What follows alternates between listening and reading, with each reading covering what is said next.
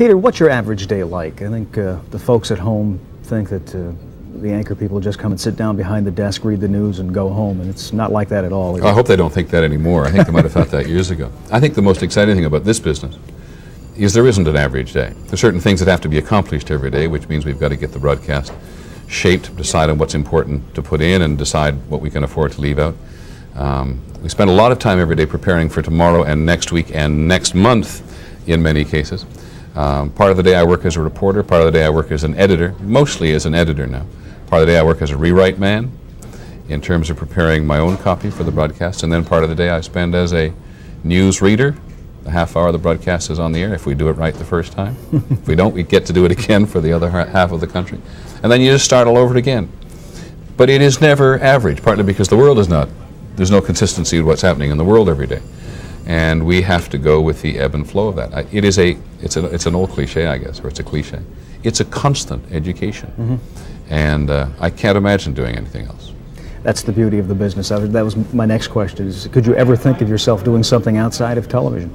Oh, I can think of myself doing something outside of television. Mm -hmm. I love radio, for example. Mm -hmm. My father was a great radio commentator. He always thought television was for the birds. Radio was much more serious, and it and it has its own challenges, of course. But I think I would have a very difficult time doing something other than journalism at this point in my life. There are lots of other things I like to do. I think public service, not elected public service, but public service in general is very appealing to me. Um, but I'm not sure I'd be comfortable doing it full time. When you lay out the day's newscast, I would imagine you do the way we do as far as uh, you have a basic idea in the morning what your newscast is going to look like at, uh, at You hope you do. You hope you do. You hope you do. you know, I, I, guess people don't realize it now. We go on the air 6.30 Eastern Time in the evening. Um, so at least we in Springfield are in the same time zone. Mm -hmm. And we do sometimes on a big news day have a sense of what the broadcast is going to lead with. That is to say, what's going to be the first story. And we have a, some sense of what the broadcast is going to look in the middle and maybe at the end. But on days when there is no clear lead, we're often struggling up until just before broadcast. On the day before we did this interview, we flipped the lead story in the broadcast six or seven minutes before we went on the air. That's always fun. Keeps the adrenaline flowing. I was, is that that? I, I, know for me it is, and I would imagine it is for you at, at, an even higher level here. The excitement of being able to do something like that, change at the last minute, and have no one know know the difference. Yeah, I, we're sometimes accused of being adrenaline freaks in this business, mm -hmm. and I think that the best work we do in this business is the is, is, is the work we've had a chance to think about, if not necessarily plan. But it is certainly true that, that, that journalism has what a lot of other crafts don't, which is that flying by the seat of your pants uh, part of the equation. And yes, that makes it, there's nothing more exciting for me than to sit down at this desk in the midst of a crisis and go for several, or in some cases many hours, as the story unfolds. The Gulf War is, mm -hmm. is, is among the most recent with a whole team of correspondents from producers out around the world. That is absolute um, from, a, uh, from a broadcast journalist point of view. That's having the front page of the newspaper and nobody's going to touch up at you.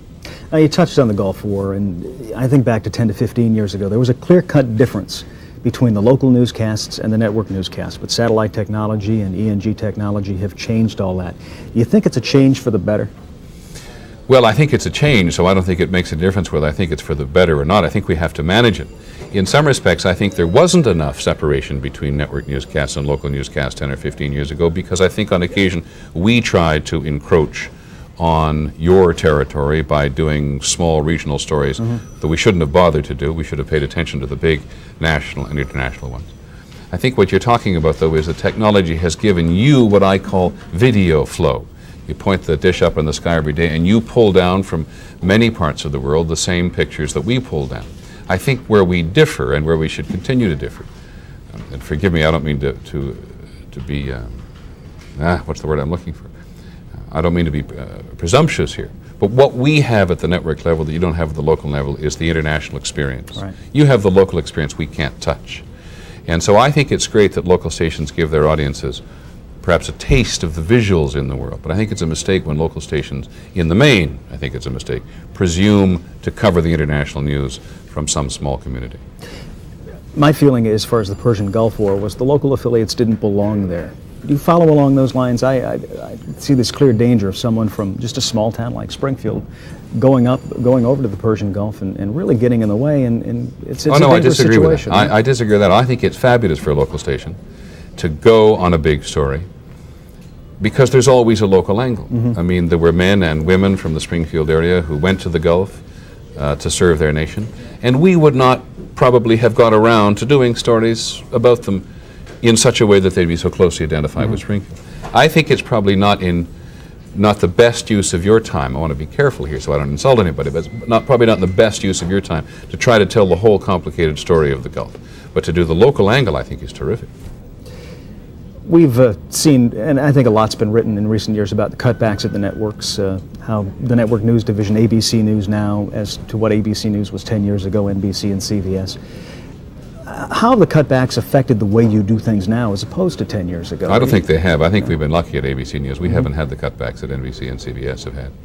Um, in fact, we've expanded our programming. We have more news programming on the air than any other network because we have Nightline as well as World News Tonight in the morning programs. We've now added World News Now, which is an overnight news service, which was proving to be wonderfully successful and, uh, for people who watch in, at that ti time of the day here, and it's also going overseas to the rest of the world. So that has changed from that. More and more, I think we find that the, the networks seem to be relying on the local affiliates, uh, especially in the bigger cities, to cover those regional stories that you talked about. So do you see that as, as being a good thing? Well, we don't do it at ABC News. I know that some of the others do. NBC, I think, does it particularly. I think we, we're all, we'd be nuts if we didn't rely on the, in, on the intellectual news gathering expertise of our local stations around the country because they know their, their, their community. You know Springfield a lot better than I'm ever going to know Springfield, despite my visits to the Big E. and and, uh, and so we rely on them. What, I, what I'm not in favor of is having a local station cover for us all the time because it's like hiring somebody from another newspaper to go and cover the story for you. We know our own people, we trust our own people, we know how they work, we know what we want from them, and so you always like to have your own reporter on the scene rather than someone else's. How do you see the, the relationship between the affiliates and, and ABC News 10 years from now as we uh, continue to grow? Uh. Things are changing every day. Well, I think because things are changing so fast, I can't think 10 years down the road in any other way than to realize that my children will be out of their teenage years, Mine which is a great relief. But I can look five years ahead. And I think that five years ahead, if we continue to really concentrate on not only doing just the big national and international stories, but trying to explain in greater detail than perhaps we have in the past what the big story of the day is, if it's health care, if it's the federal deficit, if it is the changing uh, threat in the former Soviet Union, if it's the if it's the relationship between the U.S. and Japan, if we're explaining to people what that means in terms of their personal life and our national life, then I think we'll still have a healthy niche in the marketplace. If you continue to serve your communities rather than just do what a lot of people call body bag and rape, pillage, and murder in, in, your, in your towns and your communities, then I think you will continue to deserve the trust of your community. But I think that we always, I mean, it sounds awfully pompous, but I think we always have to be thinking about what it is we do that serve people best, not just do the promotional messages about it. You must be very proud of where ABC News has come over the last 30 years from a, a distant third to a number one and, and, the, and the network that people look to. Well, sometimes they look to us, and I am very happy when they do. And I work clearly with, you know, with the best journalists in broadcast journalism, um, and and that makes me proud. But I must confess, there's a kind of Calvinist streak in me, and, and thank goodness, and some others around here, that when we're number one, we think we have to work harder than we did. And that was actually number two was more comfortable than being number one in some respects.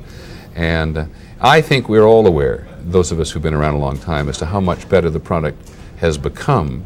But I think you've been around this long, you always think about how much better it can be. Sure. Well, I thank you for taking the time to, uh, Welcome to to the, wel- welcome to the family. Thank I, mean, you. I think it's great.